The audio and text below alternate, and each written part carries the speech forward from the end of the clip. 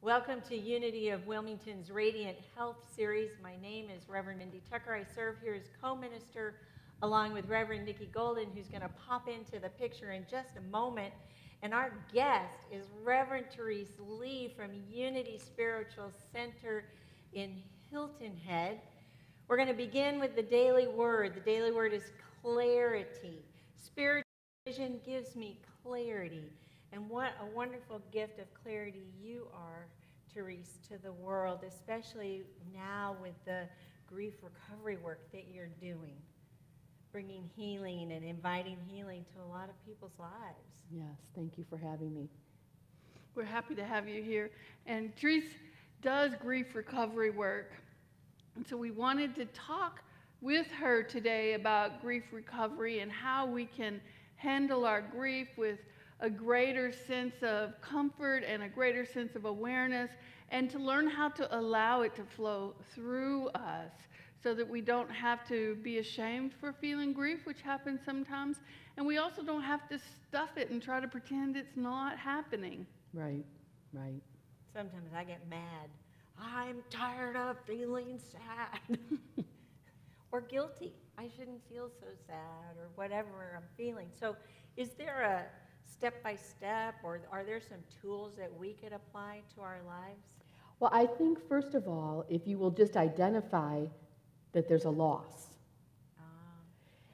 Because loss, if, if we had an equation, it would be loss equals grief. And we, all, we have not, society has not allowed us to name it. It's like, you lost a job, oh well. You know, you're getting divorced, oh well. Well, each time one of those situations happens, then we have loss. And loss means there's going to be grief if you are being realistic about your feelings. So, what I always encourage everybody to do is to just name it and say, oh, yes, I am in grief. Because what we know in unity is if we can name it, then the healing starts to happen subconsciously. And I love the. Um, definition of grief that uh, I'm trained through the Grief Recovery Institute mm. in Oregon, and it's called the Grief Recovery Method, and I am a grief recovery specialist. There is no theology involved. And that's so it's applicable. Sort of just just like spiritual practice. There's no theology in spiritual practice. yeah, so it's it's it's about, it, it's applicable no matter where you are in your life. And here's what they say grief is the normal and natural emotional reaction to loss or change of any kind.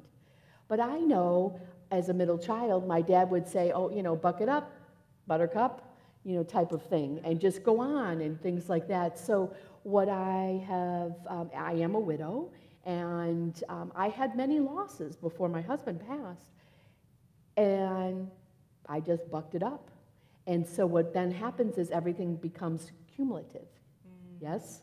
And then things become bigger. And you discount the move.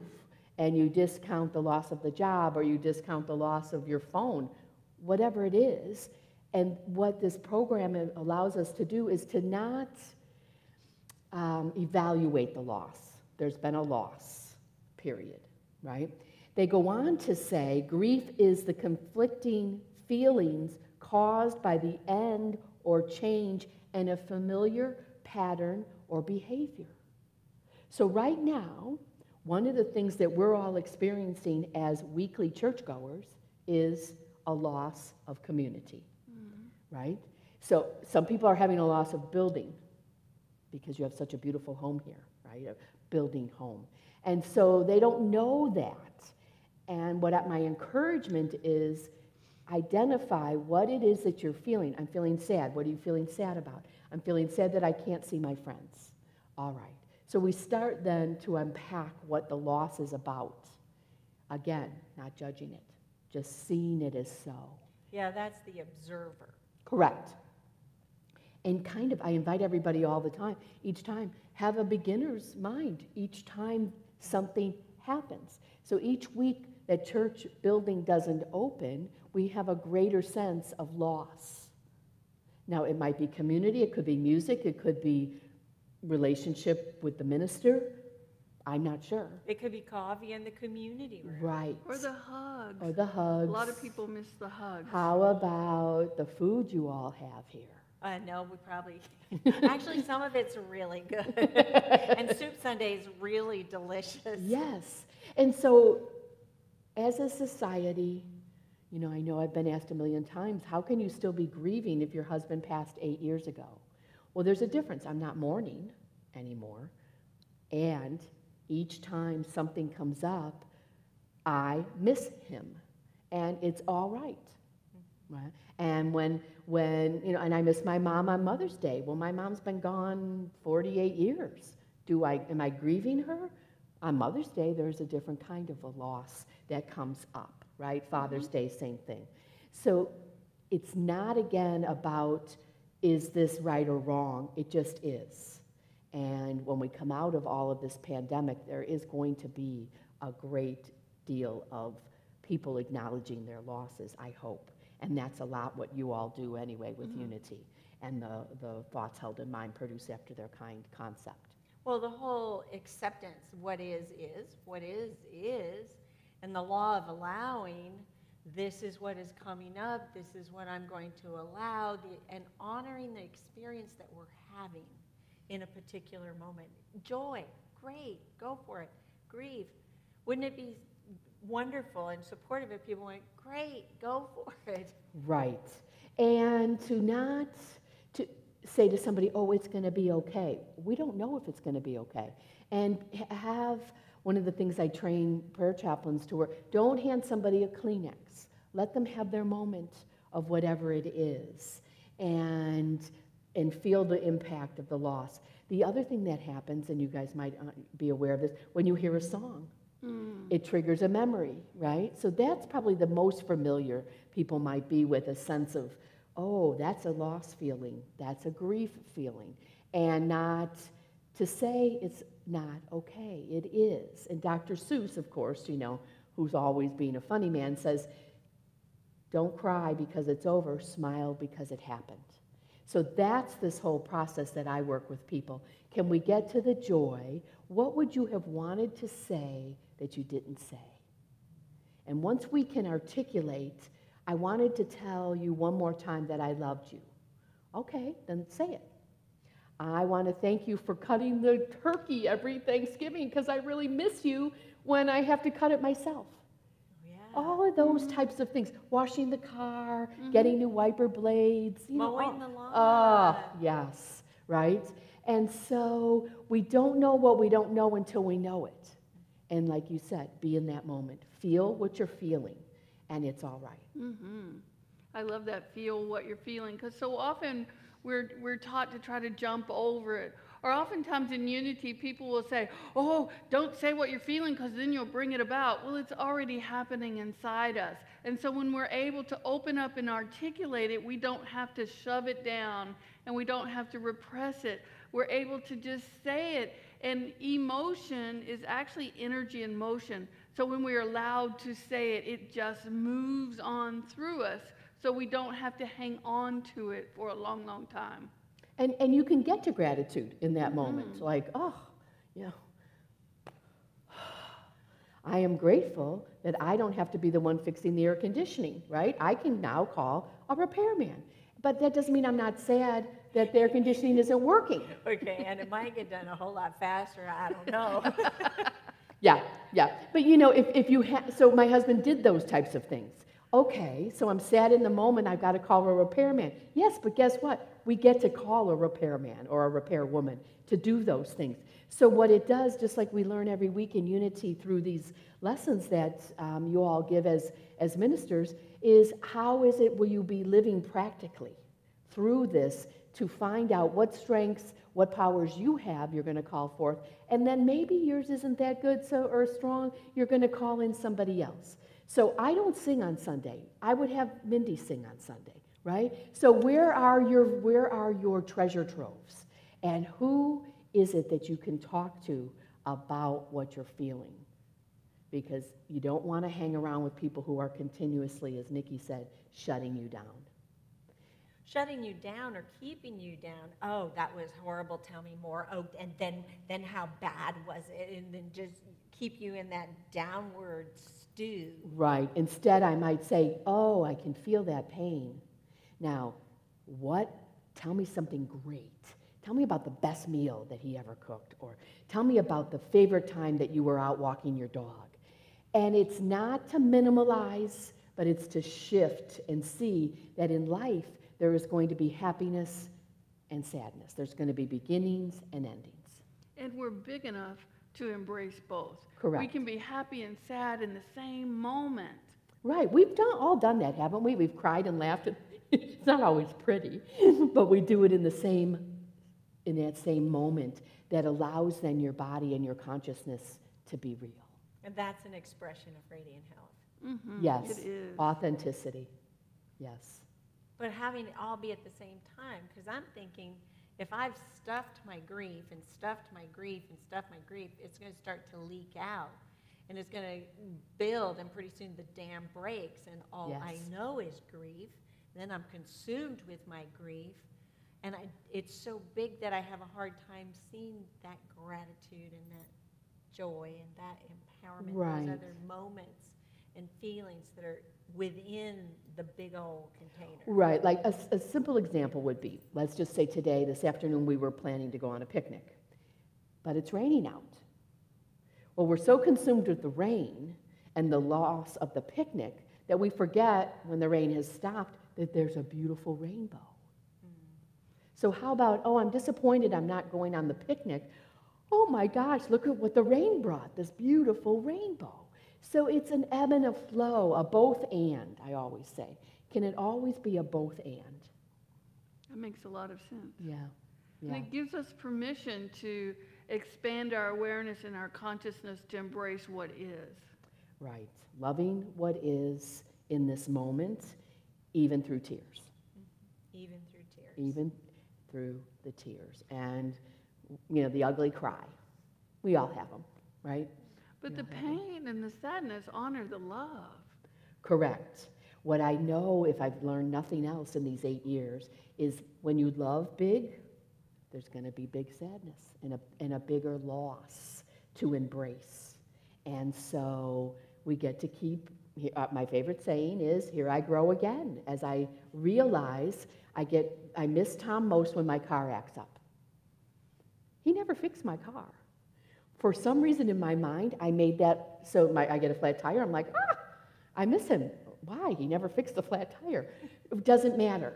Just honor it in that moment and i'll say all right you know and uh, one of the things i think i shared with you guys yesterday is it's this um, living in this new life um, widow strong is what i call myself. I'm very present to the gifts the cardinals the rainbows the heart rocks the presence of friends the calm the beauty in the trees the birds singing and so it's brought me to a very present moment of living and being grateful for what is now loving what is Well, you, you've created that spiritual maturity in you. correct and it continues to evolve every day Yeah, cultivated, I think is maybe the. Yes, yeah, yeah, cultivating it and then um, embellishing it each time. And, and, and ebb and flow. And know who you can call when you can't get yourself to smile or get to gratitude. And have somebody to call that supports you in that and acknowledges the loss at the same time. Can we get now what are we doing? So what, what's our next step through this right? And not again you said early on don't be ashamed. There's no guilt. It just is. The ebb and the flow of the cycle of life whether it's a person or a fur baby and i really like to include all of those things as well Mm-hmm. Well, I, I, I have family, and I've lost my mother and lost my father. I, I, I didn't really lose them, but they, but they died. Um, but I've had my children are grown, and now our focus is around my grandchild, but our fur babies, our four cats, and we got one that's 18. It- Right. it is possible to grieve in advance. Yes. Oh, yes. And I didn't have that opportunity based on the way that Tom made his transition, but there are those who are caregivers and they say goodbye every day when they're in hospice, and I encourage that. They say goodbye just in case this is the last time. And that's also part of this grief recovery program is if every day you could be complete when you go to bed, that should you get your angel wings that night, all would be well. And everything you've ever wanted to say has been said. Because that's what causes the pain. The things you didn't say, the things you didn't do. And after they're gone, um, physically, we can't necessarily do those things with them. We can still do that activity. However, we can still have those conversations, whether it's written or verbal. Many years ago, I had a mentor who invited me into that concept of every time I leave somebody important to be complete so that I would not experience that sense of, oh, I wish I had.